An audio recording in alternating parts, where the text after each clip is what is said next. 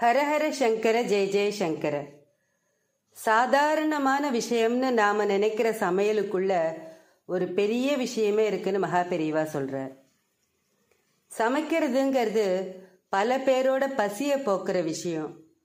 அதை ஏதோ பத்து வேலையோட பதினொன்னாவது வேலையா செய்யக்கூடாது.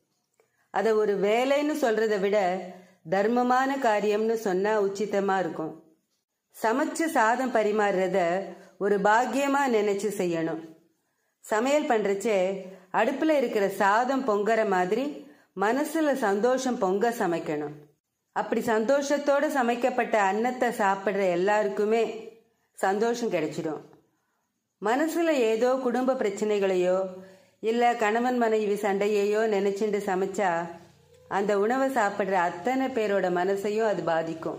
காரணம் தெரியாம சாப்பிட்டவாளோட மனசுல ஒரு சோகம் வந்துடும் எந்த உணர்வோடு அந்த உணவை சமைக்கிறோமோ அந்த உணர்வு அதை சாப்பிட்ட எல்லாருக்கும் ஏற்படும்.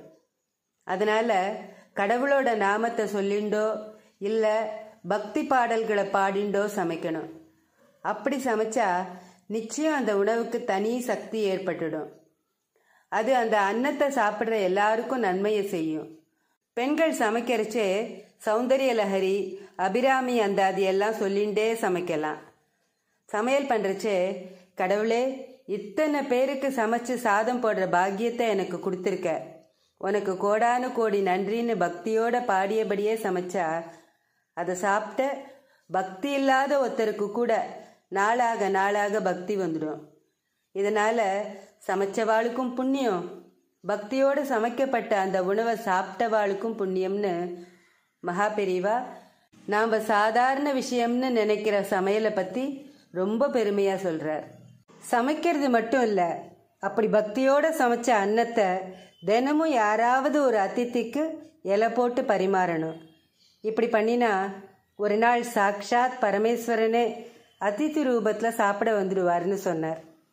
இதை உண்மைன்னு நிரூபிக்கிற விதமாக பல வருஷங்களுக்கு முன்னாடி காஞ்சி மகா சுவாமிகள் கலவையில் தங்கியிருந்த சமயத்தில் ஒரு தம்பதி தரிசனத்துக்கு வந்திருந்தா.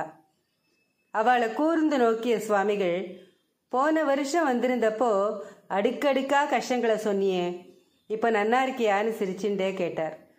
உடனே அந்த தம்பதி பரம சௌக்கியமாக இருக்கும் பெரியவா நீங்கள் உத்தரவு போட்ட மாதிரி நித்தியம் மத்தியான வேளையில் ஒரு அத்தித்திக்கு சாப்பாடு போட ஆரம்பித்தேன் அதுலேருந்து நல்லதே நடந்துட்டுருக்கு வயல்ல விளைச்சல் அமோகமா இருக்கு.